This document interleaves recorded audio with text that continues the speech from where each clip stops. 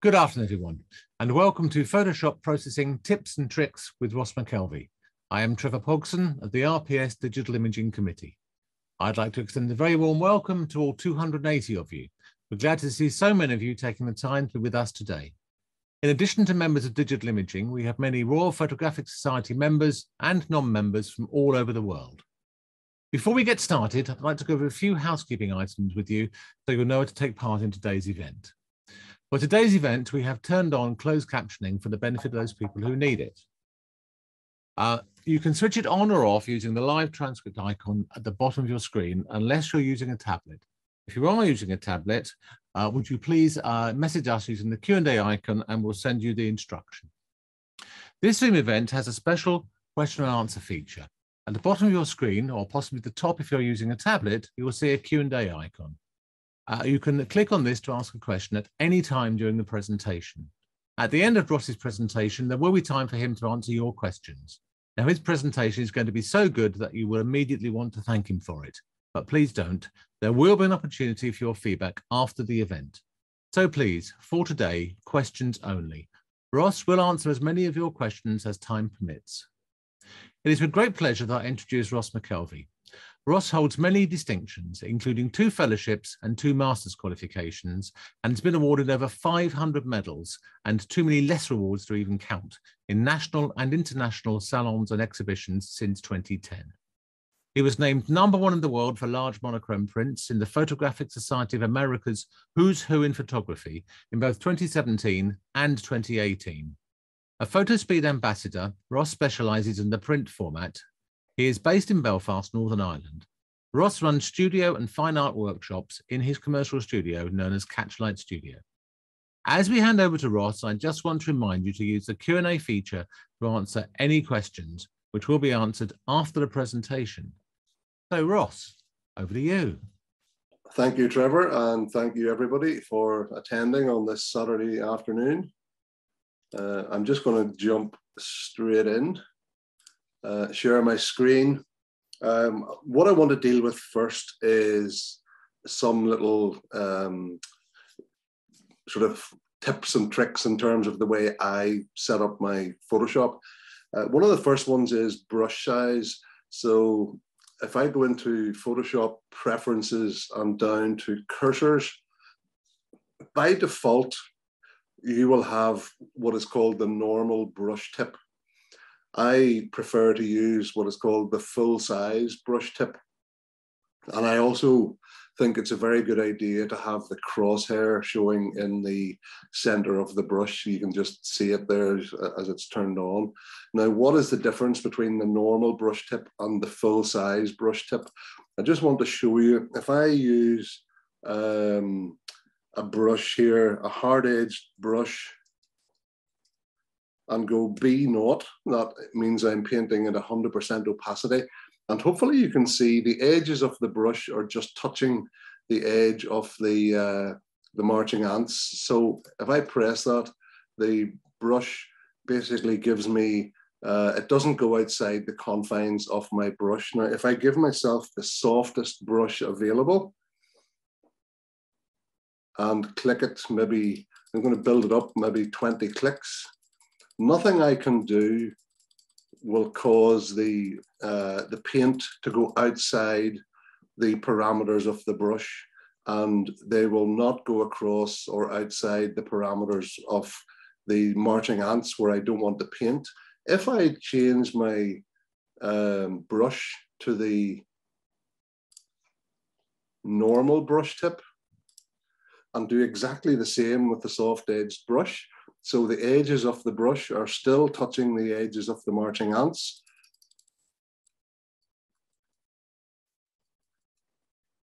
Now you can see it will not go outside the marching ants. I actually need to deselect the, uh, the marching ants. I should, I should actually stroke them with a black uh, pen so you can see what's going to happen. So hopefully you can now see the stroke. Um, so if I now go with the soft edged brush, look what happens with the normal brush tip. I've been able to, to paint significantly outside the edge of my brush tip because it's amazing. A lot of people say to me, uh, oh, I don't know why, um, but I there's no way the edge of my brush went over the edge of the object, but it's still painted, and that is why, um, because you don't realize just how far the uh, soft brush, the normal brush extends outside the parameters of the actual brush itself. So if I change that back to my preferred method in preferences, cursors, and change it to the full size brush tip and do the exact same over here.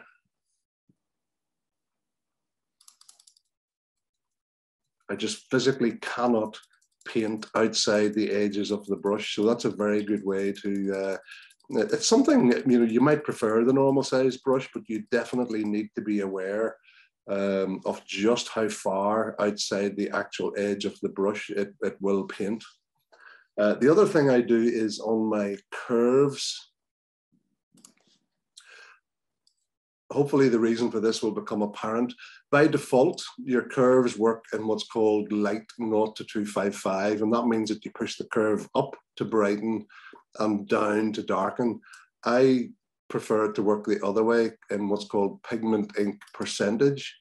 Um, and that way, the curve is exactly the same. It just means that it's reversed. You pull down to brighten and up to darken. So if you see me doing that, you'll understand it's just a brightening curve or a darkening curve, but mine will work probably the opposite way um, to, to, to uh, how you're used to seeing it. The reason for that is that I like to be precise about the way I work. So rather than what I call wanging the slider up or down, I change the output in percentages. So uh, the dot is in the middle, 50, 50. And if I change that 50 to a 40, that is a 10% brightening. So changing output 50 to output 40 is a 10% brightening rather than in the other way, um, just simply pushing it up uh, and having no idea where you're going to or coming from, etc. Uh, let me just fix, put that back to my pigmenting, yeah, it is a pigmenting percentage. So the other thing I just want to show you very quickly is I am a big fan of Nik software and I do change the way it works to suit me. So the way I work on it is I prefer to work on a duplicate layer. So Command or Control J gives me a duplicate layer. You can see over here now, there's a copy layer. And that is the layer that I want Nik software to work on. So if I go into Nik software, say Color Efex Pro,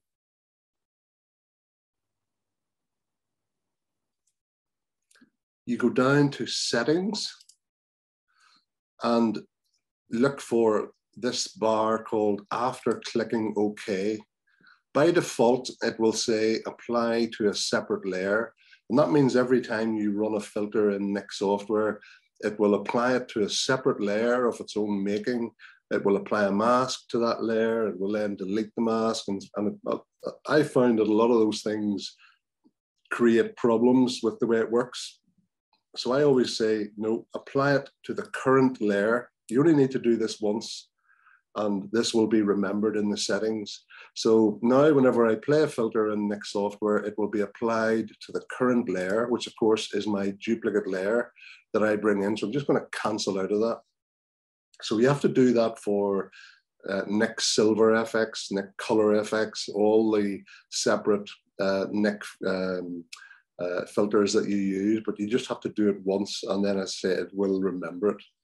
Um, and actions, hopefully we can make the, I'm gonna make a set of actions here. You can see I've called them RPS July 22. Um, hopefully we can get those sent out to you via the RPS. Um, I can probably even provide a link if I put them on to say Dropbox and people can download the set of actions. I put things in there already basic luminosity masks, convert to sRGB, which is something you often need, um, Velvia color boost action, which we'll hopefully demonstrate to you shortly. But something else that I do is a vignette action. Now, I'm going to show you how to build this, and this will be in the actions that hopefully we can forward to you. So, new action, and we'll call it vignette hit the record button. select inverse, select modify feather, and I'm going to type in 400 pixels and hit OK. I'm going to go Command J to put that on a new layer, Command L to bring up levels. And instead of moving the sliders, I'm going to change 1.0 in the middle to 0.8, or I'll go to 0.75, make it a wee bit more uh, stronger. Click OK. And um, I am going to go V7. That changes the opacity of that to 70%. And I'm now going to say stop recording. All these actions now I can collapse. And there's my little action called vignette. If I just get rid of that, there's my vignette action. If I now just press play, oh, sorry. Um, I need to make a selection first. So if I make a selection, basically everything outside the selection that you make will now be vignetted if you play that action. So it's a nice soft vignette action. So it's working. And the other one I want to very quickly create is one that we will call, um, so new action, and we will call this dark details. hit record, Command J. So I'm including in the action to create a duplicate layer and image adjustments, shadow highlights. Now shadow highlights is very extreme. So I'm just going to bring the sliders down. Click OK and apply a black mask and now stop recording. So the reason for this action will become um, apparent whenever I now start editing an image. So I'm just going to close that. I'm, I'm going to make one more action, which is my typical, um, I'll just open any old image here. Um, it's a, just a brighten uh, action. So new action, brighten, and we'll make it 15%. Record. So Command J for duplicate layer, image adjustments, curves, and as I say, rather than wanging the slider, I'm going to change the 50 to a 35. That is 15%. So that is brightening the image by 15%, changing the 50 output to 35 because we're working in percentages. And I'm now just going to apply a black mask by holding the Alt or Option key and hitting the mask tool and now stop recording. So this set of actions can be made available to you hopefully um, afterwards. And now we're just going to start editing images and see some of these in action. So Lightroom, uh, we can start maybe with this one. This is a raw file of professional model Holly. Um, and I do not have a set routine whenever I am fixing images. I look at the image and I decide what needs to be done. So if I go into the develop mode a little tip for you, I buy my mounts from a company called Paper Spectrum and they are 50 by 40 centimeters. So they're 50, standard 50 by 40 exhibition size mounts, but they come with a pre-cut uh, window uh, that is 36 centimeters by 26 centimeters. And that gives you an even seven centimeter border all around. And it means that you can use it for uprights and for landscapes because the border is, as I say, even all around. So whenever I'm cropping an image and I'm thinking, yeah, I'm going to be lazy and I'm going to use one of my pre-cut mounts, I have a little preset in here, three, 36 by 26 essentially. So I know if I print, if I crop it to this ratio and print it 36 centimeters on the long side, it will be 26 centimeters on the short side and it will be a perfect fit for my pre-cut mount. So there's a 36 by 26 ratio crop on this. Um, I click on the word shadows and I hit the plus key and they go up five at a time. And again, there's no magic number on this. It will depend on the image, how far you go. I think plus 40 is enough on that. Highlights, I'm going to bring them down. Hitting the minus key, just looking at the image. And I might bring the contrast down slightly old and in the days gone by, film workers probably wanted a fairly flat, low contrast negative, and then they would introduce the, the, the contrast at the printing stage. And view your digital editing really um, along the same lines, and I think you'll get stronger digital images.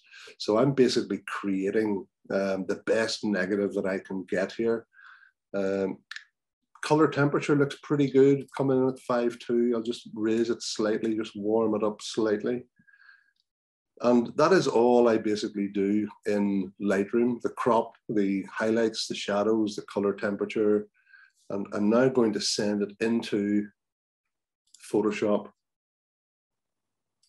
I don't know why I get that little message about updating because my settings are updated to the latest version of Camera Raw. Now let's look at this image and see what do we need to do. So first of all, how many of you have noticed there is a problem up here in the right hand corner? So there's a little dark triangle there uh, that needs to be fixed. The major problem for me with this is the brightness of this area of the breast here on this little bit of the shoulder. Um, so they are brighter than Holly's face. And you, you always want the, the face here to be uh, the brighter part. You don't want these areas to be brighter than her face. Otherwise, you're basically, you know, um, drawing the viewer's attention away from the face. So, and sometimes, of course, maybe that's what you want, but not in this case. We don't want these areas to be the brightest.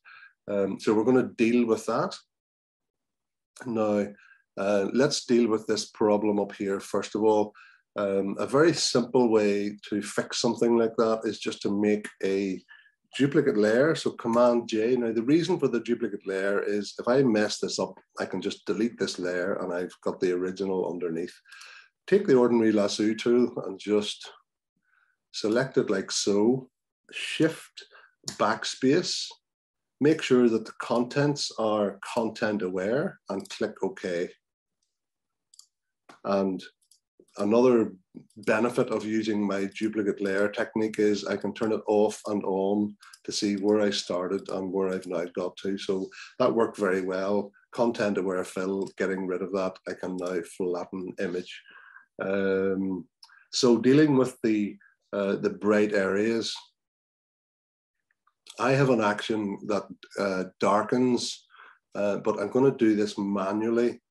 Um, so Command J, duplicate layer, image adjustments curves. Now, the reason I like to do this with curves is there's a little hand tool here. If I click on this hand tool and then come over to the bright area on the, the image that I want to darken, as I move the mouse around, you can see it, it, it affects where it's affecting the curve, but I'm clicking on the area here on her chest that I want to darken. So I'm clicking there and I'm dragging down. Now, I always go too far. And the reason I go too far is because I'm going to paint this in very softly and very subtly. So there is that. Obviously, the whole image is darkened. And I now just black that out with a black mask. So underneath this black mask is that darkened image and it's been over darkened, but we don't care because we're just going to paint it in at low opacity with a soft brush. So B for brush. Now, in terms of brush size and brush softness or hardness, I use the right square bracket key to make my brush bigger. And I use the left square bracket key to make my brush smaller. If I hold the shift key and hit the right square bracket key, I'm making the brush hard. If I hold the shift key and go left bracket, square brackets, I'm making it soft. And there are five increments. So I'm now, we can check it here. Hardness is at zero. If I go shift right square bracket key, it's now hardness 25. Shift right square bracket key, it's now 50. Shift right square bracket key, it's now 75. And last one, and it's now 100. You can see up here on the left, this hard edged white circle. That is an easy way to see where you are with it. But let's say you don't know where you are. I have no idea what the opacity of this brush is at the moment. I can see up here, it's not 100% hard, but if I want it to be the softest brush, I just go shift and hit left square bracket key about four times, and I know I'm at zero. Uh, I don't need to go up there and check it. I know I'm at hardness zero. So with a soft edged brush, I'm going to go B um, B2, what does that mean I'm doing? I'm painting at 20% opacity. Up here, the opacity is 20%. I always get amazed when I see, you know, some high-end Photoshop workers on YouTube going up here and moving the slider and trying to get to a certain number or not caring what number they're at. If you want to paint at 20%, just hit two on your keyboard and you're automatically at 20%. So soft edged brush. I'm going to zoom in and I'm now just going to softly paint in over the areas that I think, and I'm clicking and rebrushing. So some areas are getting more than uh, a single pass at 20%. Some are getting just the 20%. Some are getting a bit more.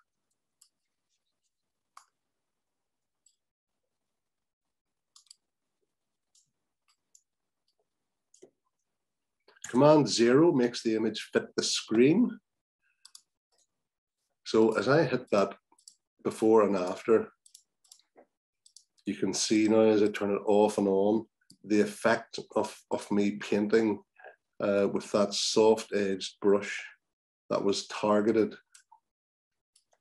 just, just simply using that little hand tool on the curves adjustment layer. So we have got rid of the problem of the brightness of those bright areas of skin. Now, ideally, you should use a luminosity mask for that to target those areas of bright skin. I'm not going to do that today. I'm going to keep this more, not necessarily basic level, but it's quite advanced when you start using uh, luminosity masks. So we might have a quick look if we have time. But I'm quite happy that with the way that I've been able to darken those areas. So I'm now going to flatten image and commit to that change. So let's use our action that we created at the start here, brighten 15%, and I just need to hit play. And automatically in a split second, I've got a duplicate layer hidden by a black mask. But look what's underneath. It has been brightened by 15%. And if I now go B2, I'm painting at 20%. And I'm going to brighten Holly's face.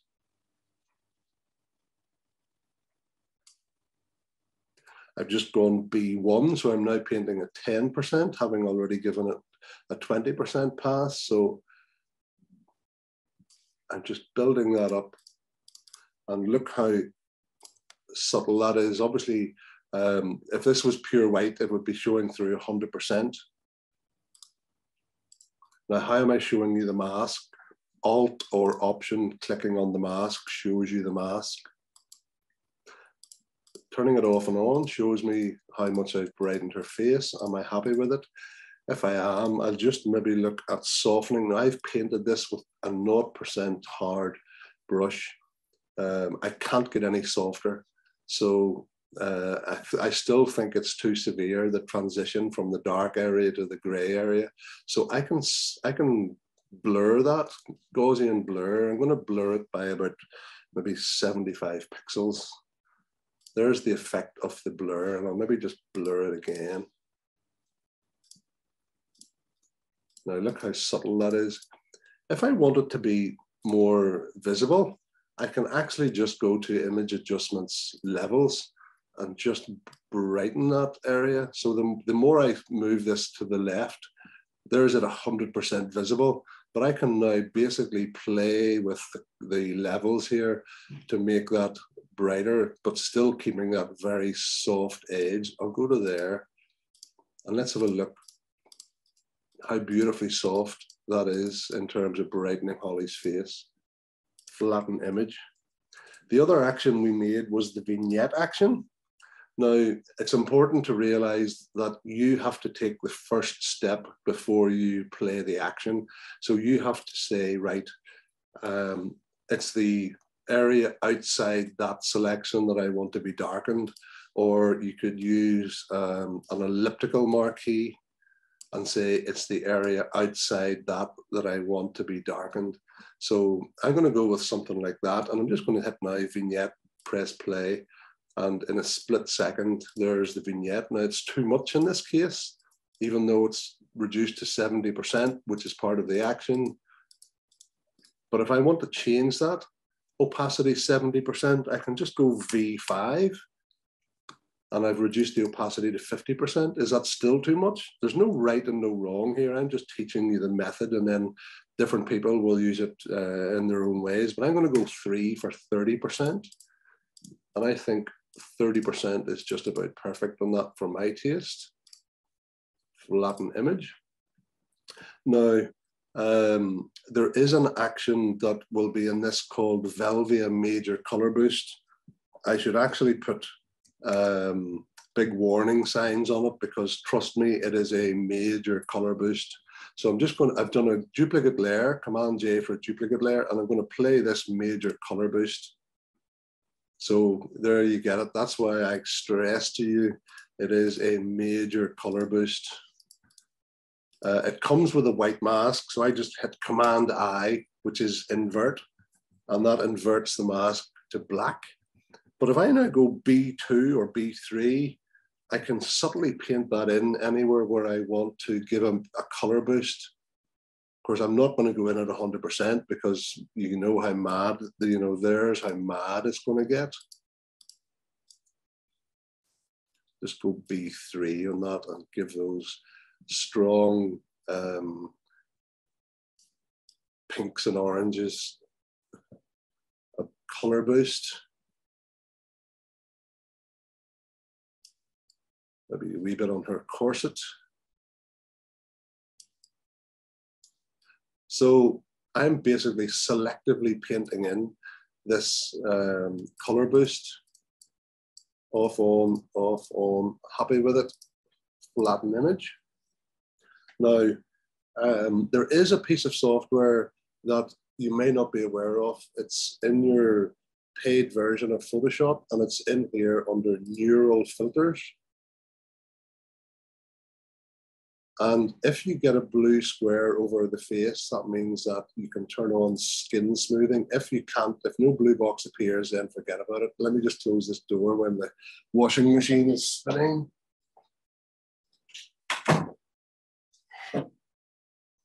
So um, you have two, two um, choices on this blur, which is basically skin uh, texture, I suppose and smoothness. I'm just going to leave that at default and I'm just going to click OK. And it's actually pretty good. Command 1 to uh, get into 100%. If I turn it off and on, it just applies to the face. It doesn't apply to hair, it doesn't apply to any other parts of, of her body or skin. Um, now, that's a bit much. But if I go V6, I'm allowing 60% of that inbuilt in Photoshop softening layer to, to and it's I found it reasonably good uh, without having to, to uh, for people who don't want to pay for a more professional um, uh, skin softening software. Um, now let's give this the finishing touch. Uh, Command J, filter into Nik software, Color Efex Pro. So remember, the way I've set up Nik software at the start, it's going to work on this layer.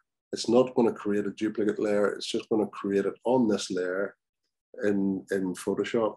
So I'm going to go to darken, lighten, center. Now we have already darkened these areas that were too bright. We've brightened her face, but we want to take control over where the viewer is concentrated. And that we do that by what's called place center. So I'm just going to place the center up here near her face. I'm going to reduce the size of that center, typically 20 or less. I'll just go 20 on this. Border luminosity is basically darkening the edges of the image or everything outside that center. I'm going to bring that to about 30. And center luminosity is brightened by 25%. I'm just going to bring that back. Just get rid of that um, to 20 or maybe go 18. So again, the beauty of the, this duplicate layer technique, I can show you before and after, before and after. So that little piece of software, Nik software, Dark and Light and Center is now helping us through the use of basically brightness values to concentrate in on Holly's face. Flatten image. And um, let's just have a look at Holly's eyes.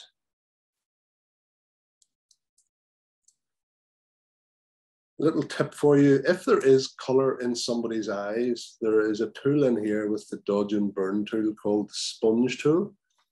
You can set it to saturate colors or to desaturate colors. If there is color in the eye already, if you use it in saturate mode and paint over the iris, you can basically saturate the colors that are already there. I'm doing this on a duplicate layer, so I'm not worried about going too far. Why? Because if I do go too far, I can use opacity of that layer to uh, bring it back to more acceptable levels.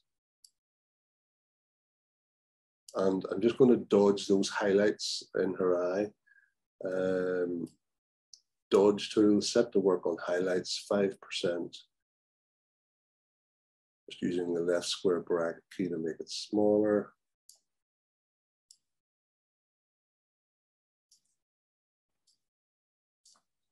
So before, after, before, after, quite like that. So I'm going to keep the opacity quite high. I'll go V7, just take a third off. Happy with that. Flatten image. Command zero, make it fit the screen. And if I now go file, save, it will now be saved as a TIFF file and it will appear in Lightroom where we can show you the, um, I'll just go into develop and say reset. And I can now show you how quickly and simply we have been able to go from the raw file to the uh, finished article um, simple steps, nothing major needed to be done to the image. We have basically reduced the brightness of these bright, bright areas. So they're no longer a distraction. We have brightened her face. We have brought out more color in the uh, material, etc. We've done a darkening vignette uh, around it. So all very simple, simple steps that basically will can help you transform an ordinary image into uh, something that uh, will hopefully do better for you in competition. Um, I want to show you this one. This is a professional English ballerina, Erica Mulcairn, taken in my studio. This was on one of my workshops. So these two people are attendees on the workshop. And what they were basically doing at this was, uh, as, as Erica jumps the dress comes down. So they were basically helping the dress to, to come up with her. And all I was worried about was trying to catch the model against the background. So I wanted separation between her hands um, and the uh, and the, the dress. And I want to show you how, how wonderful Photoshop can be. Um, I'm just going to crop in to the background I'm going to try and basically save as much of the actual background as I can.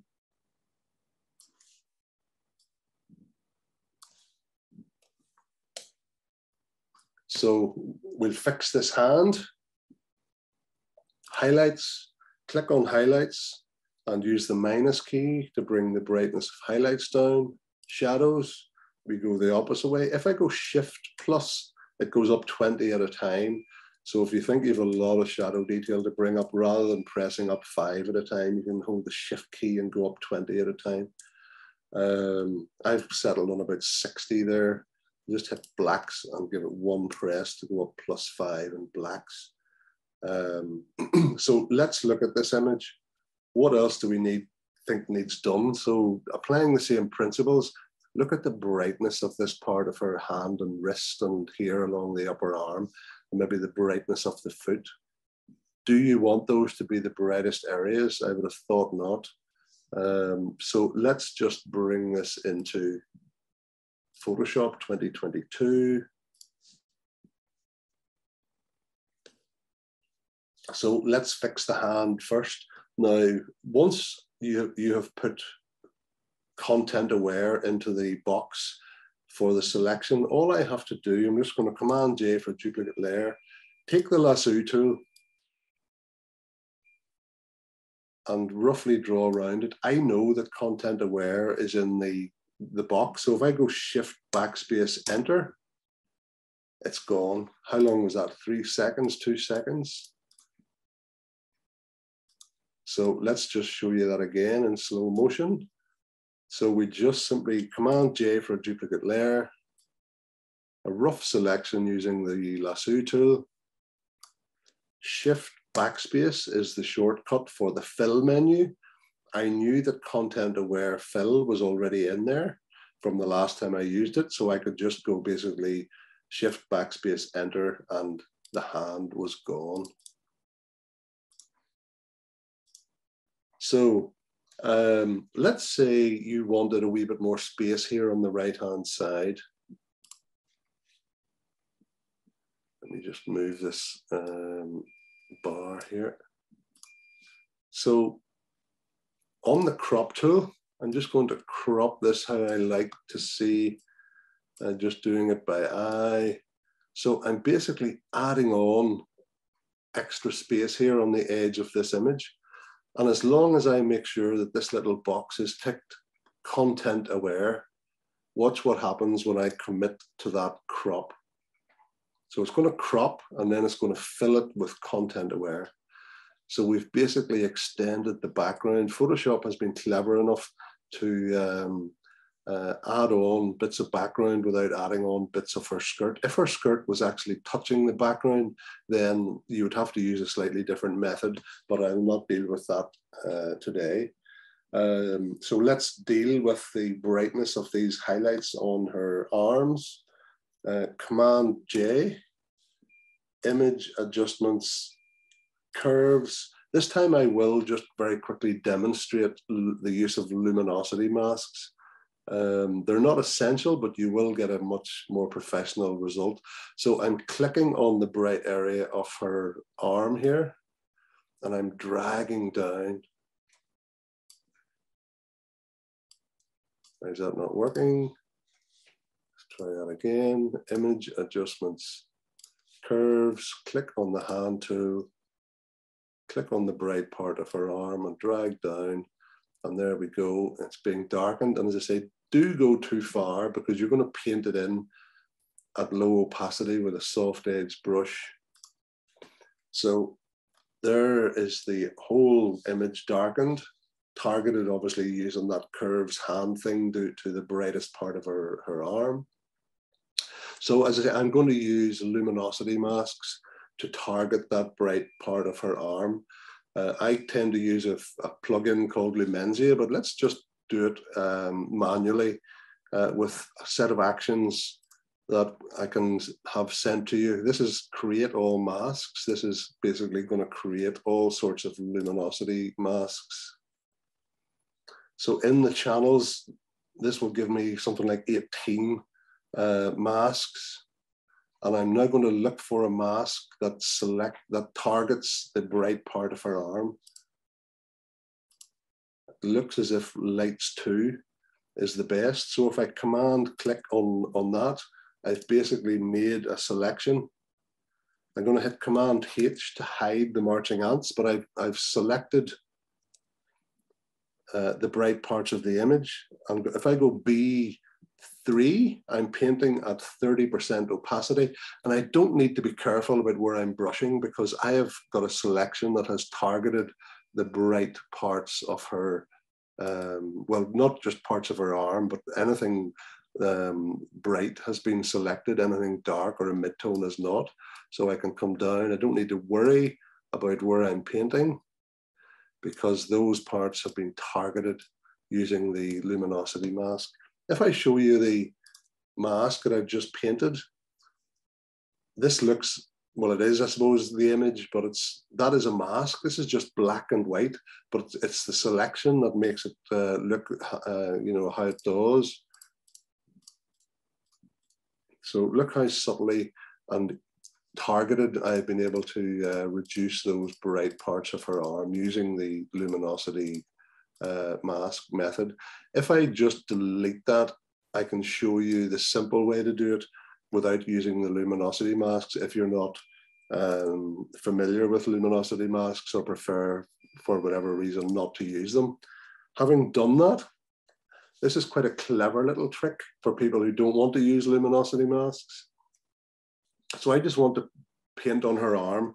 The way you would have done it before is B3, say, and you'd have used a soft edge brush and you've been trying to make very sure that your brush didn't go outside the edges of her arm and you're going to paint that in and it gets very difficult just not to go oops outside her arm and all of a sudden you get halos and all sorts of problems. Um, but here is a very clever little tip. Click on the image. So i'm not on the mask i'm on the image and i come over here to the object selection tool and i just basically draw um, a rectangle around her arm and it knows what I'm trying to select. And I can add on further here. So look at that for a fantastic selection of her whole arm. Now, the benefit of the luminosity mask approach is that the luminosity mask will ignore these dark areas of her arm. We now basically have a selection of the whole of her arm. B2 will allow me to paint this in at 20% opacity. And I'm just trying to concentrate on the darker, or sorry, on the brighter parts of her arm, ignoring the shadow parts of her arm. But it means that I, with this selection made, I don't need to use a luminosity mask and I don't need to worry about painting on the background because it's not selected. And look how simple that is. So having done that, let's come down to her foot. If you try and draw a box around her foot, no, nothing will happen. Well, in fact, that, that's amazing. It did happen. I'm on the mask, so I wasn't expecting that to happen. I didn't think that Photoshop would be able to select the foot because it's I'm on the black mask. You probably get a better result if you do click on the image itself and draw out your selection tool. And now I can click back on the mask, B2, and very subtly and very softly paint in that darkening curved layer. Command D to deselect, whoops, Command zero to make it fit the screen. Turn it off and on. So if you look at her arm and her foot, they have been darkened without creating any halos on the background or without affecting the brightness or darkness of the background. Happy with it? Flatten image. Let's go over to our uh, oh, by the way, if you do play that create all masks action, you all those 18 channels will remain there until or unless you play delete all masks. So remember to do that. Remember, if you do play create all masks, remember to delete them all at the end. Uh, so let's brighten her face using this brighten 15% action that we created. Split second there.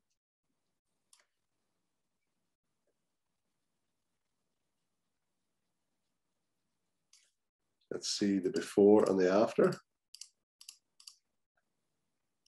Again, I'm just going to undo that and show you likewise how you can use this um, selection tool to basically see if it's clever enough just to select her head and face. Yeah, look at that. So B2, painting in 20% opacity. So I'm not going to be brightening the skirt or the edges of the background this selection has basically allowed me just to target her face Command D to deselect, and now look how perfect that is in terms of brightening her face. Happy with it? Flatten image. Let's do our, and just to teach you how, how versatile this vignette action is, you don't actually have to do a um, rectangular selection, which is your traditional vignette. You can basically come in and select very roughly. So remember, everything outside the selection that you make will be darkened. So rather than having a rectangular traditional or uh, elliptical uh, traditional vignette, I'm just going to create a willy-nilly vignette, I suppose. Press play. V4, 40%. If you're happy with it, flatten image. Now, again, just to show you how versatile that action is, let's say I wanted to darken this area here. Very simple way to do is you think, right, where's the area I want to darken? I want to darken this area here. Remember, it's the area outside the selection that gets darkened. So I need to invert my selection. So if I now play the action, this area in here will be very subtly and very softly vignetted or well, not vignetted, darkened. Ignore the warning. It's basically telling me that there's a very soft selection in place. Look how subtle that is, darkening that area. Before, after, before, after. Flatten image. Um, the shape of the skirt once it's just material, I just want Command J for a duplicate layer. Um, you can go into liquify and up to this first tool called the forward warp tool. And you can basically shape that material. I don't particularly like shaping female bodies or male bodies or whatever. Um, sometimes it can help just to tweak somebody's uh, um, shape. But by and large, I don't care whatsoever about material. It's just material. Um,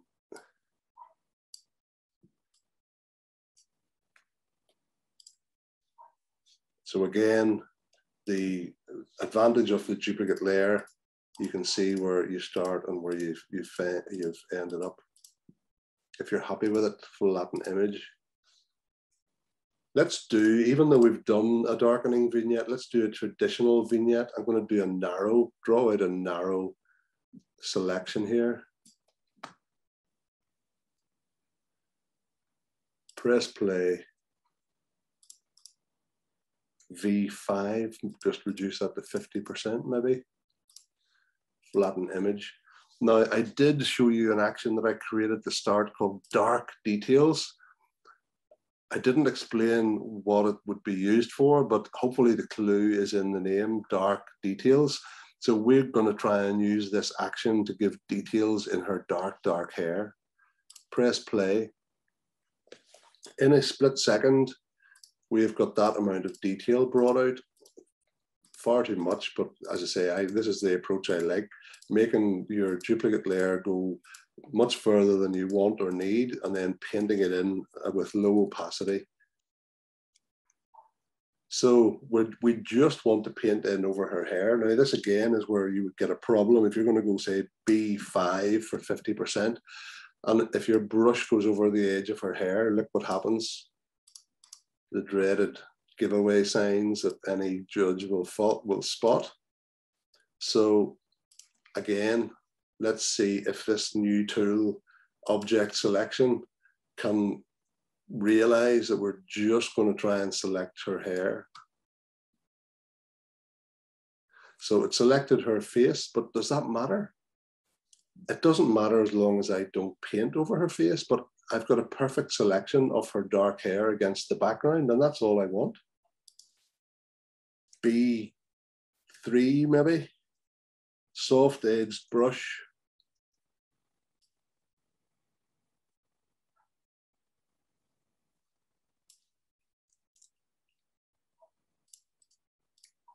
Look, so there's the dark detail action, bringing out that detail in her hair. See it at normal size before and after. Flatten image. Remember our um, Command J Nik software, Color Efex Pro,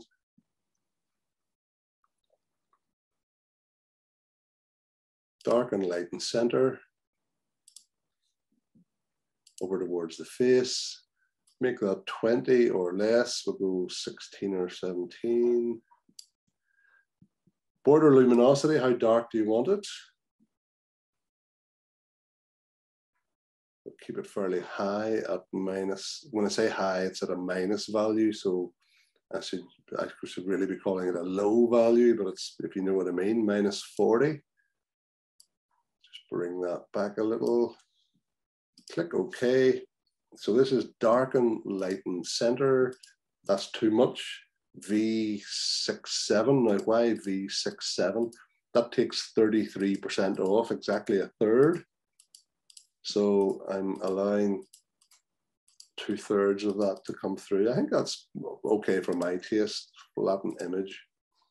So uh, we have re removed the problem of these bright highlights on her arm and wrist, drawing attention away from her face. We have brightened her face. We have used dark and light and center to bring you into her face. We've made the background nice and dark, etc. Uh, we've reshaped the skirt, all very simple steps that basically enhance the image. Now, one thing I haven't talked about is sharpening. Um, there are so many different ways to sharpen. Let's just show you a couple um, I do like this one with Nik software, filter Nik software, output sharpener. By default, it sharpens for display and it's too severe. I always sharpen for print inkjet auto, I always take that to luster. Now this is just a sharpening technique. I'm not actually printing this image and it doesn't matter what paper I'm printing it on. I'm just trying to find settings in here that I like. I changed the printer resolution to 2400 by 2400 and I basically don't hit anything else. Um, now this was a 50 million pixel camera um, this works perfectly. If you go inkjet auto luster 2400 by 2400 and just click OK, for a typical 24 to 30 million pixel camera, it does work beautifully. I have found it doesn't work as well on the sort of medium format 50 million pixel cameras.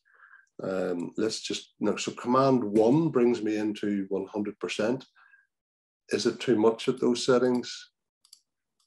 Yes, it is. But if I go say V6,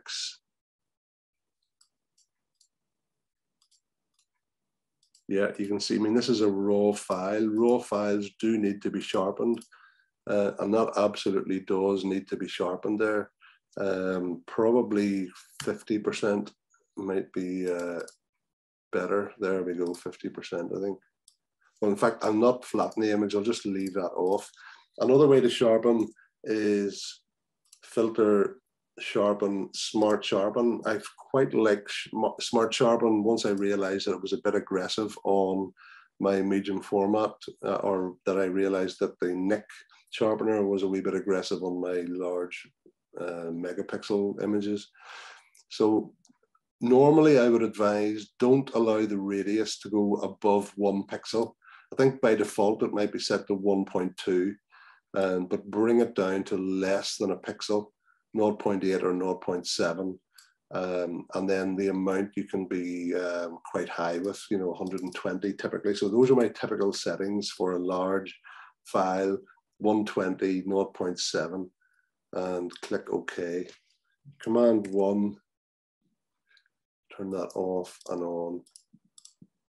And let's see the other one. So the other one is far more aggressive. Um, and the final one I'll show you is the um, high pass technique. So filter high pass, and it looks as if three pixels. If you see haloing like this, in your um, radius settings, you know it's going to be too much. So I'm going to bring that down to two pixels. Excuse me, one pixel. Will it allow me to go 1.5 pixels? So this may not be the best method for this. You basically then change that layer into overlay or soft light, depending, overlay is more aggressive, soft light is less aggressive. Command one, we'll just zoom in a little more to see if we have got a problem where the halos appeared on that. No, that's okay. That type of sharpening, that, um, uh, what do you call it, high pass, will not affect the sharpening of the background the, the, on this part of the dress. Anywhere it sees an edge or a crease uh, or a line, it will be sharpened. Uh, that's the benefit of it. Um, but any of those three techniques, you know, play with, find one that you like, and then maybe make an action out of it. Uh, is the best way to uh, to you know make actions for things that you use regularly and constantly, um, and your workflow will improve significantly. Um, let's just get rid of that one. I'm just going to flatten this. Flatten image. And again, just to show you, Command J, this Velvia Mad color boost. Command I, and let's just use this selection to see if it will select the dress and the model. Yes, it will. B2, paint that strong color boost in at 20%, maybe not everywhere.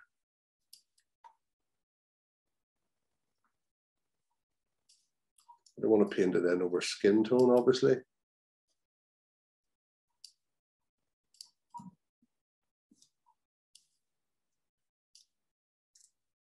So if I show you the before and the after, just giving a kick to those reds. Is that too much? If it is, V7, take a third off. If you felt that that red satin type material, so that's part of the inner lining of the skirt, if you thought that that was um, too bright, you could use the um, opposite of the saturation brush. You're going to use it in desaturate mode.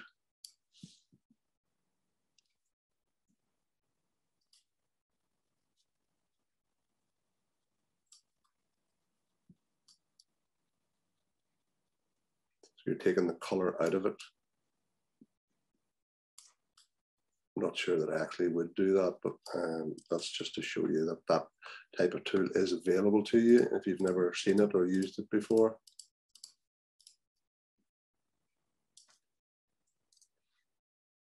So again, if I hit File, Save, that is now an edit TIFF file back in Lightroom. And when I go back into Lightroom, there it is, the edit TIFF file, and we can compare that to our original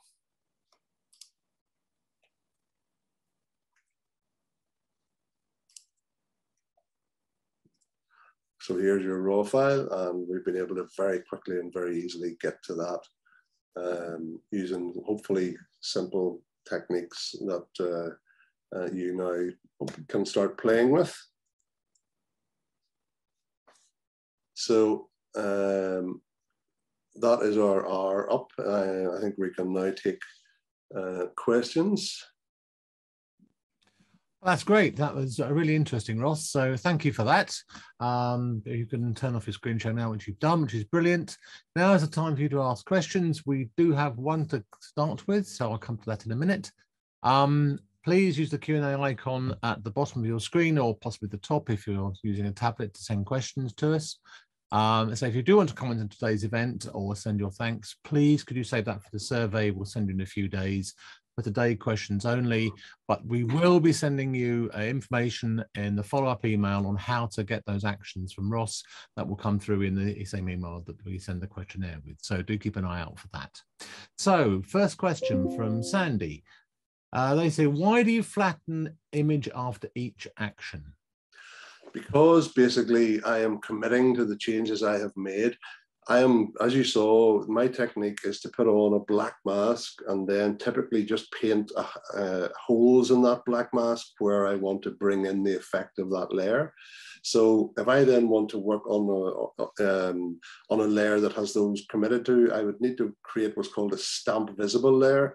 Um, it's just simple. If you do it correct and do it right and you're happy with it, just flatten the image. There's no benefit to me in keeping those extra layers I would probably end up with about 20 layers on each image.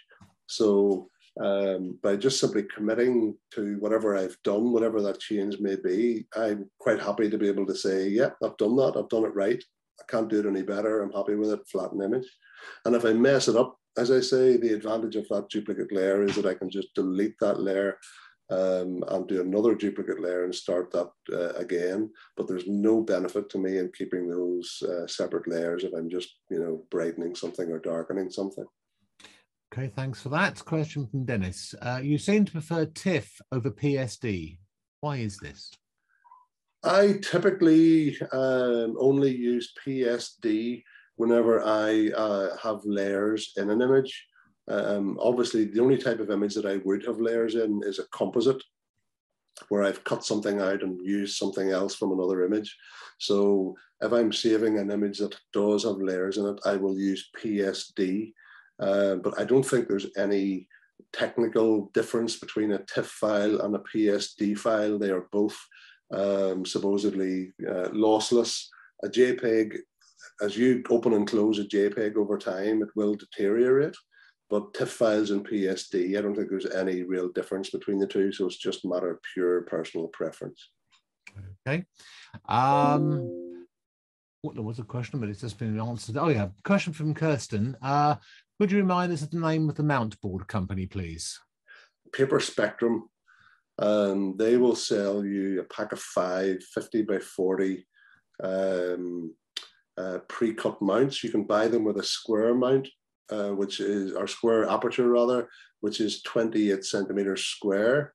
Um, and you can buy the typical three by two aperture, which is 39 by 26, but obviously that has to be used for landscape. Um, you couldn't use that for an upright because it's not an even border. And that's why, as I say, I love the 36 by 26 because if I buy, say, five packs of them, it doesn't matter whether I'm printing a landscape or a portrait. Um, I know that I will have an even, bow, even border all around. I can use it either way. I actually have a discount code um, that I can uh, give people if I can just put my hand on it in a second.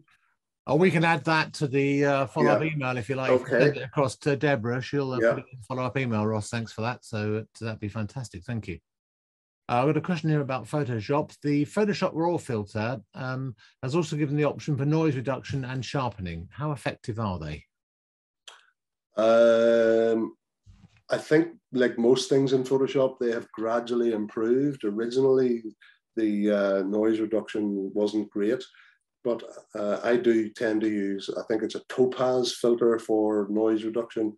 Um, but I haven't compared it with the Photoshop. But I would say that the, the, the Photoshop noise reduction is certainly much better than it was. So if you were put off using it whenever it first appeared, um, you maybe go back and have another look at it because Photoshop is constantly evolving, and they don't tell you that they've changed something. You know, you just maybe open it up after an update, and there'll be new tools or new um, features in there, or things will work differently to how they did before but yeah, um, have a look and see. Okay. Uh, another question, uh, this time from uh, Rosemary. Ross, you used to use detail extractor in Nik to dodge and burn. Do you still use it? I do. I think detail extractor is one of my most used uh, filters in Nik software. Um, a tip for you is by default, it is quite it gives you sort of a HDR type appearance. It's in other words, it's too aggressive. If you move the contrast slider, I think by default the contrast is set to six percent.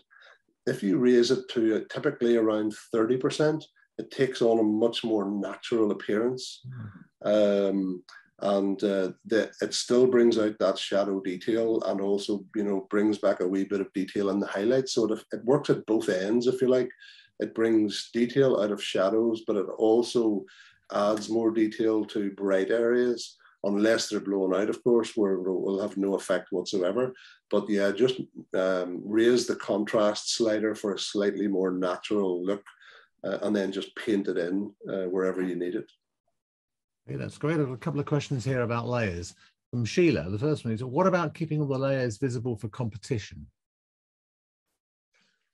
Um, I'm not sure what she means by that. Does she mean yeah. in order in order to be able to um, prove that everything was your own or something that or everything that you've used in an image is? Uh, Perhaps um, Sheila, if you could maybe type a follow-up question on that to maybe um, explain in more detail what you're after, then uh, Ross can give you an answer to that. So if you wouldn't mind perhaps sending a bit more, uh, a bit more detailed question, that'd be fantastic, please.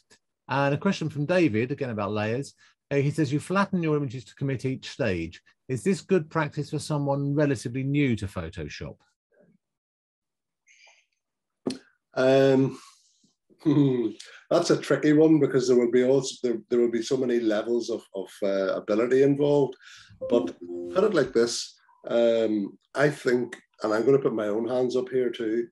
Every time, we, uh, the first time you learn how to brighten eyes, for instance, you'll go too far. The first time that you do skin softening, you'll go too far. And then you suddenly realize less is more.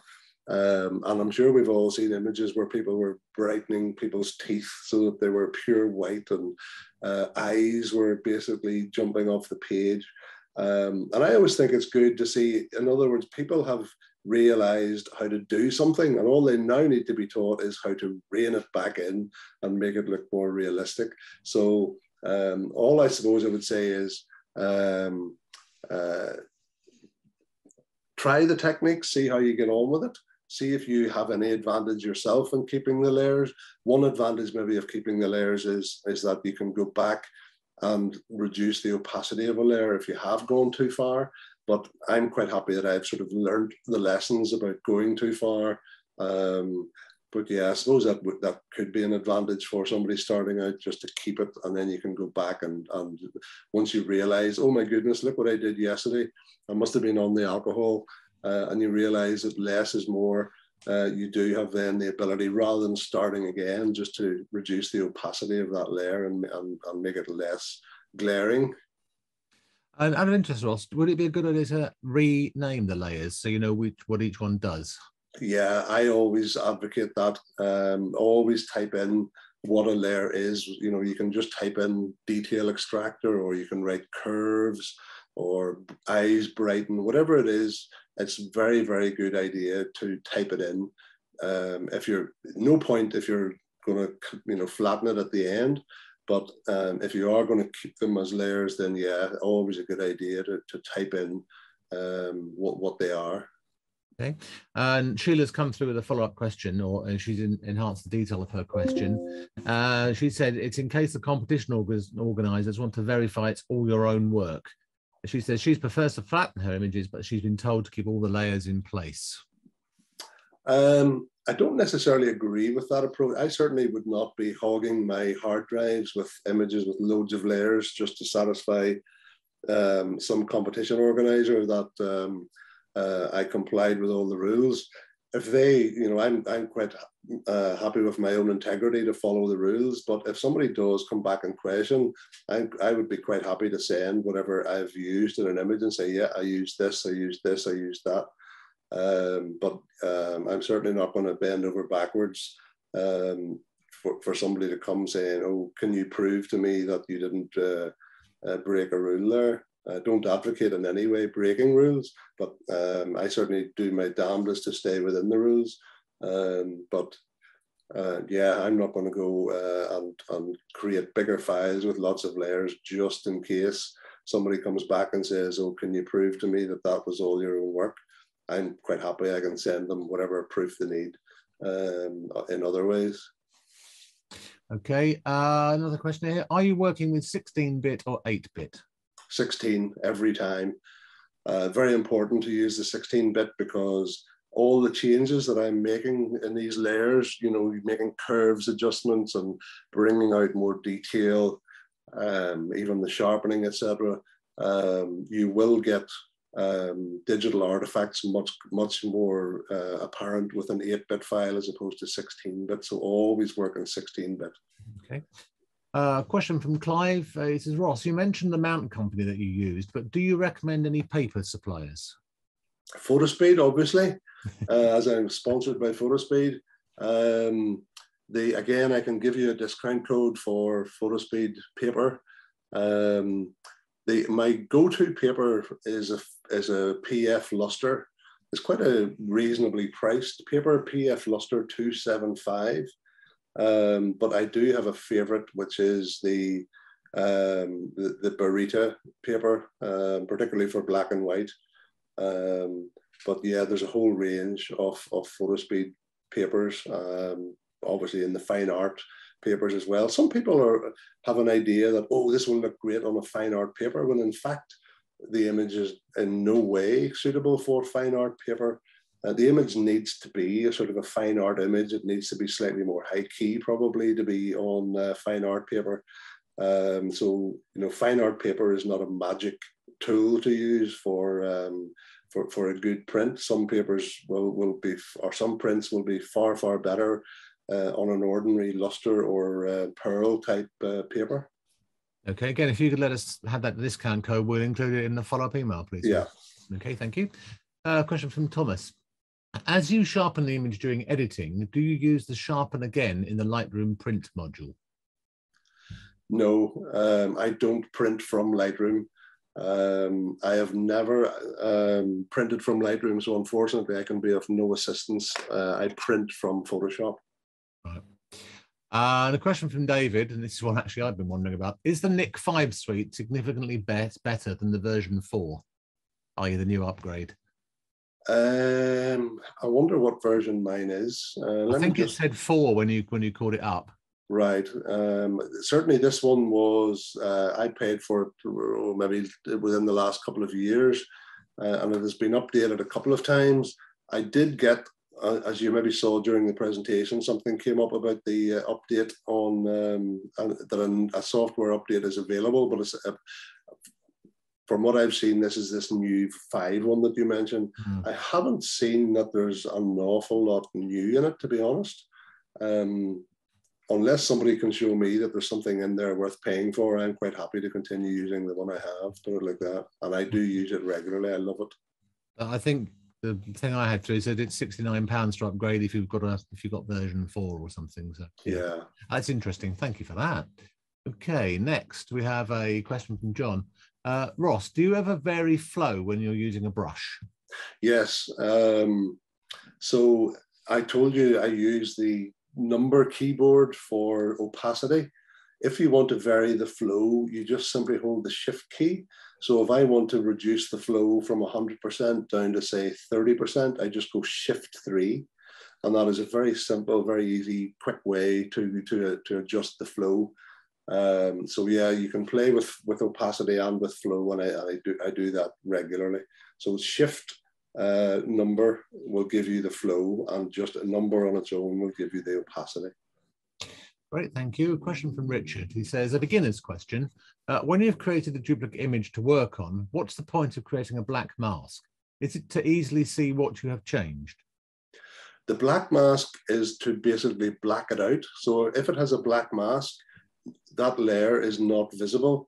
And whatever is on that layer will only become visible once I paint um, with either a dark, um, at, a, at a low opacity or a high opacity, a hole in that mask. So the, the purpose of the black mask is to black out um, whatever I have, whatever change I have done. So you may have remember I said several times I'm going too far here. You know, darkening the arm. I went too far on the curves adjustment. You know, I went really extreme but I then black that out with the black mask and then I just paint in at say 20% opacity, um, making it nice and subtle. Um, whereas if you only went as far as you needed with the initial curves adjustment, then you have to be painting at 100% for it to work. Hopefully that makes sense. Uh, question from Lee uh, about gear. Uh, Ross, can we please have a brief update on your preferred camera lenses for your studio work? A Canon 5D Mark IV or a Canon mirrorless now? You mentioned 50 megapixels. I mean, there's no doubt that mirrorless is the future. Um, Canon have actually said that the latest digital SLR they have, whatever it is, is their last. They will not be upgrading uh, digital SLRs anymore. There'll be no new digital SLR models. So mirrorless is the future, um, and I am a mirrorless convert, and I can tell you it is absolutely amazing brackets when it works, when it does what it's supposed to. But I will warn you, uh, switching to mirrorless is a fairly steep learning curve. Your camera will now basically become a computer. It is definitely more like a computer than a, than a, a traditional camera. There are pages and pages and pages of menus in there. There are all sorts of things you need to change if you're using it outdoors or indoors for studio work, etc. Um, and I, I'm now probably going to start insisting that people who come on my workshops with a mirrorless camera know how to use it uh, before they come because the, the number of problems that you can have, you know, for instance, if you have silent shutter, you know, for a wedding photographer, silent shutter is brilliant. The vicar is not going to be shouting at you anymore. But if you try and fire flash in the studio with silent shutter on, it's not going to fire the flash. And you need to be in mechanical shutter rather than electronic shutter to fire the flash. So they're all, and you need to have live view off in the studio, etc. And then you go outside and you suddenly forget that you've made all those changes and tweaks and your camera's now not working as you want it to when you go outside, etc. So mirrorless is definitely the future. Eye focus, animal focus, bird focus, these things really do work. I have seen them in action and used them myself. They are quite remarkable. And that, as I say, is why camera manufacturers know uh, there's no going back from this. Mirrorless is the future. Yes, I agree with what you say there. I know one of the latest Nikon mirrorless cameras, the manual's over 900 pages. and they don't give you a copy in the box. so yeah, you're right. It is a steep learning curve, but well worth it. Um, there, question from Dennis: Have you ever tried Topaz Sharpen AI versus Nik? No. Uh, simple answer: No, I haven't. Okay. Uh, during resize, which mode of resample is recommended? Um, I let me just check that with. Um, I just open something and image image size. Um, I just simply use automatic. Um, I never uh, increase the size of an image. I'm only ever decreasing the size of an image. Um, so in other words, sometimes people will tell you that your PPI should be exactly 300 pixels per inch when you're printing an image, and if, if it's not, they will add, you know, get Photoshop to add pixels to get to that 300 magic figure. You are far better leaving your image alone and printing at a lesser PPI um, rather than increasing pixels. You know, you, you do not want Photoshop going in there adding pixels uh, stick with the image that you have. So um, I only ever resize an image, and that is whatever I'm changing from, say, a print image to a PDI, where you have to have it by, say, 1600 by 1200 pixels or something like that. Um, and I just simply use the automatic uh, in the resampling. Okay, question from John uh, Ross. This is about your luminosity masking. John, uh, Ross, you had a, a plugin in top on the top right called Luminos. You can't remember what it actually was. How does that compare to Nik software in terms of ease of use? What was the software you used for your luminosity masks? Lumenzia. Lumenzia. So how does that compare to Nik software in terms of ease of use? Uh, Nik software doesn't have luminosity masks, so uh, what the Lumenzia panel does is um, is not really comparable to Nik software. Uh, the Lumenzia is purely for um, uh, lum luminosity mask work. Uh, it is fairly good. It's run by a guy called Gregory Benz, mm. and um, he has lots of tutorials available. In fact, on the it's not that expensive either. It's maybe from memory 30, 40 pounds. Uh, but what it does is, is really quite remarkable. Um, maybe on my YouTube channel, if you want to check out uh, one of my videos on luminosity, I think there will you might see me demonstrating uh, the Lumenzia panel in action. But Gregory Benz has his own channel on YouTube. Um, and uh, yeah, Lumenzia is definitely worth getting to grips with, but don't expect to do it overnight. Uh, it is a learning curve. Of question, sort of comment from Janet on the business about keeping layers, and maybe you could comment on this. She she says that she assumed that keeping all the layers was more to do when you're creating a composite image, maybe for a competition where composites used. Yeah, I, that's the only time I really have uh, layers because if I cut something out, I'm going to first of all try and cut it out perfectly, and to cut out it cut it out perfectly takes time and effort. Um, and I'm only I only ever want to do that once. So I'm not going to flatten that image and then decide that it would work better with a different background a week later and have to go back and cut it out again. So that is why I will keep that, that type of composite image as a layered uh, PSD file so that at any stage I always have that, whatever it is, uh, cut out on a, on a separate layer and available for use in another image. And I guess that also would apply to the fact if you get asked to prove it's all your own work. If you if you produce a composite image to a competition, you can still show all those layers. Yeah, they were your pictures and what you've done. Yeah, and even as I say, even if if, if I hadn't uh, saved it as layers, obviously if I've used a sky um, as a background or used whatever um, a pipe in somebody's mouth or whatever, if I have that photograph of the pipe that I used, I can just simply say, here are the five images that I cut out and used for that image. But yeah, obviously the, the layered PSD file uh, makes it simple. Uh, question from Carolyn. Uh, can you use Liquify with 16-bit images? Yep, that's what I just demonstrated. Yeah, they were 16-bit and I was using Liquify. Okay, question from Eamon. Uh, how do you ensure that your image prints as brightly as your on-screen image? Do you use levels at all? So on my Mac, I think there are something like 20 levels of brightness. I am working at brightness level four. So right down to the bottom level, and then I go one, two, three, four um, to work at brightness level four. And that is what I have found matches as close as you can the luminosity of my prints. The, the, um, uh, you'll never get them absolutely uh, perfect because obviously all our screens nowadays are backlit sort of LCD type screens. Uh, so they'll always have that sort of punch uh, and brightness that, that you'll find very, very hard to replicate on a print. But yeah, in terms of brightness values, people tend to have their brightness turned up too high on their screens. And then, for instance, if you use a third party uh, to print your image, you're actually sending off an image that in reality is darker than you think it is. And that's why your prints come back dark. Um, they have to apply. Um, but I do have an action um, that makes a very subtle um, increase in the midtones.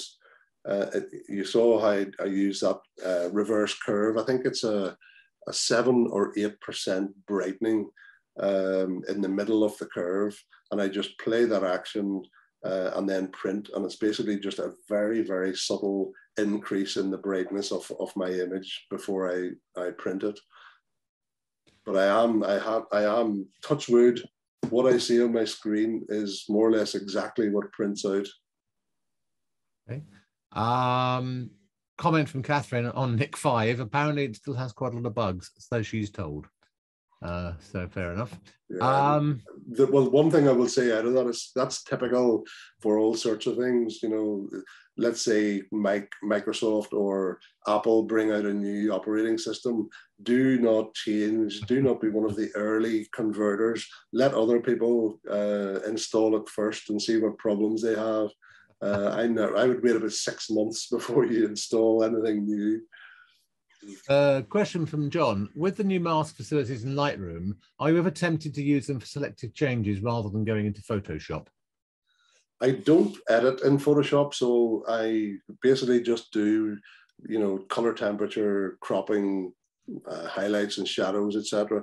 But yeah, I have toyed with and played with the new masking tools in Lightroom, and I've also seen a couple of videos on YouTube, and they are amazing because not only do they have a fantastic inbuilt masking technique, but they actually now also incorporate luminosity masks as well. So you can target uh, areas not based not just on selections, but on their brightness.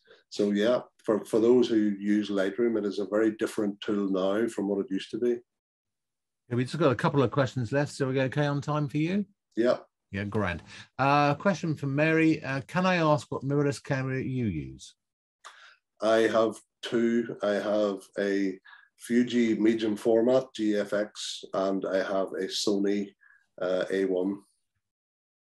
Okay, and last question is, are you using defringe tool in RAW? Oh, one more's turn now.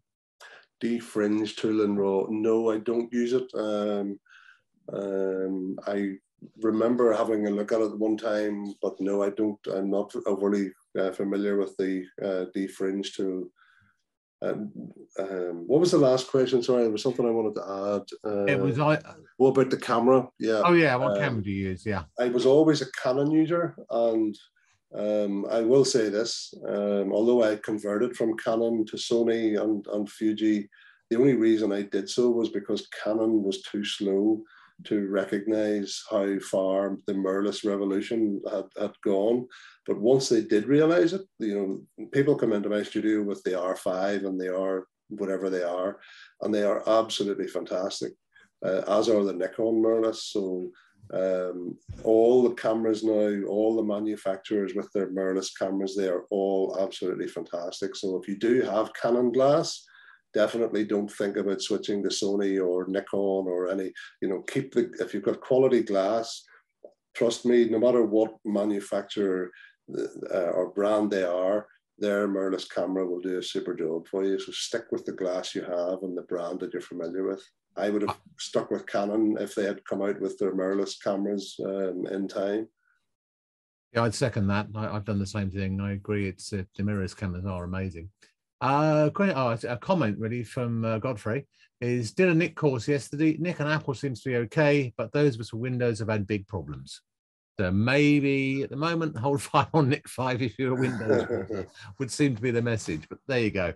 Um, question from Richard How do I set Photoshop to operate in 16 bit? The image seems to open in 8 bit automatically.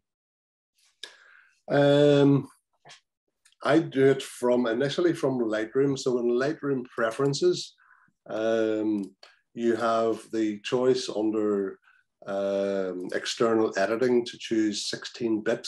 So once I send my images, which are raw files from um, from Lightroom into Photoshop, they are coming in uh, automatically because of my Lightroom settings as 16-bit files in ProPhoto RGB color space.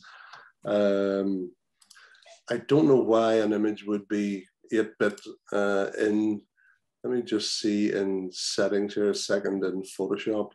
Um, preferences general. I don't know why it would be um, 8-bit in, in Photoshop, but I say I'm, I'm typically just coming in from Lightroom, so I'm actually ensuring with my Lightroom settings that it's coming in as a 16-bit file. And even, even the masks that I use um, are 16-bit masks, and that is through the Lumenzia panel. The Lumenzia panel actually specify that their masks are in 16-bit, uh, which is quite an improvement because whenever you um, start blurring masks and using levels and whatever on masks, um, they are as susceptible to artifacts and to fringing as images are. Actually, the comment here from Candy uh, saying several filters in Photoshop don't actually work in 16-bit, or have they fixed that now? Um, I'm certainly not aware of any filters that I can't use in Photoshop, and mine I'm always using 16-bit.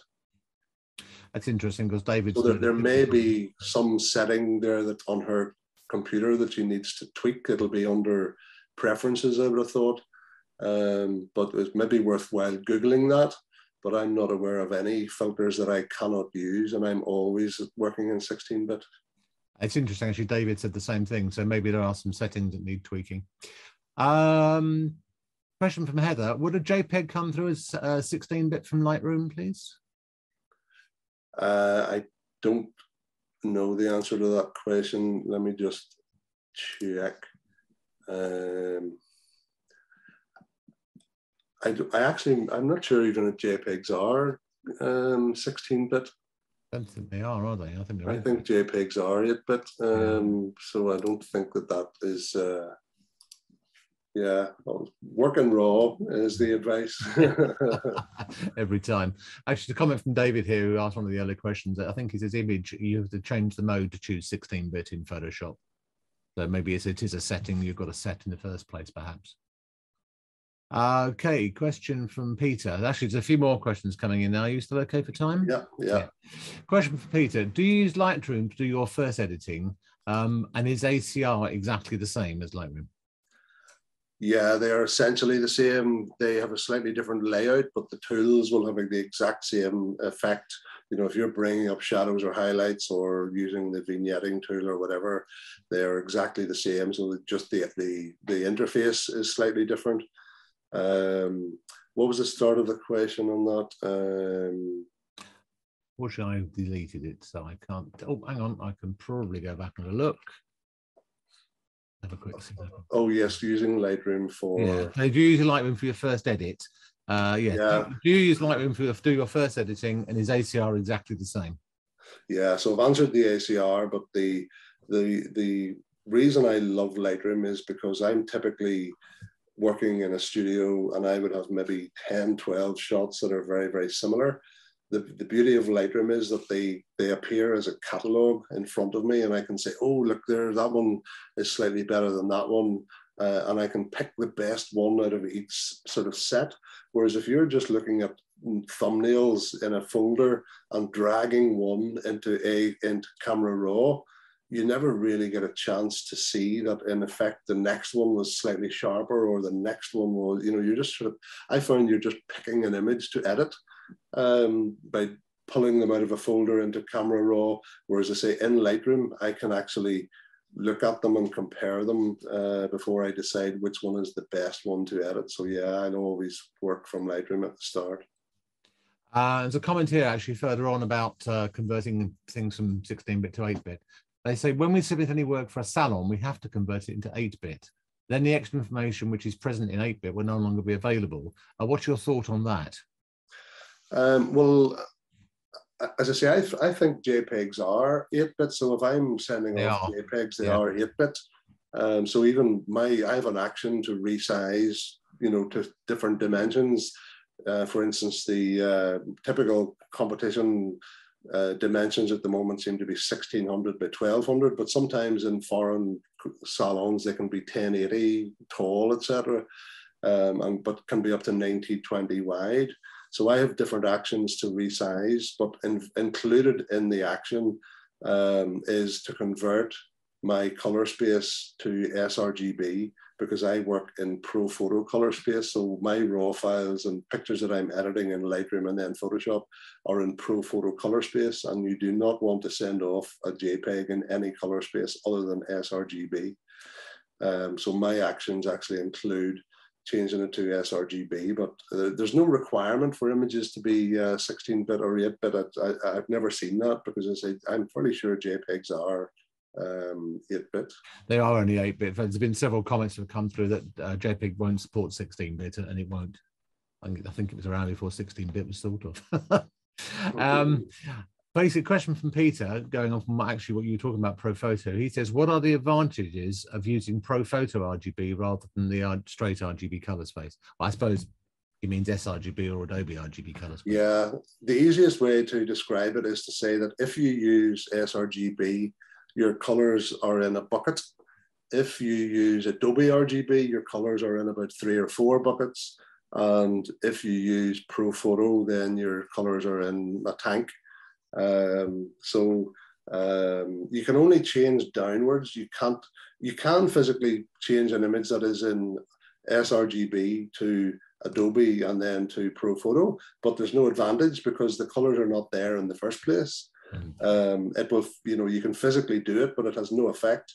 But you can um, work the opposite way. But you know, you're throwing colors away by coming down from ProPhoto to Adobe and then down to sRGB. But um, by and large, I have to say you do need to be a pixel peeper to spot a, a massive difference.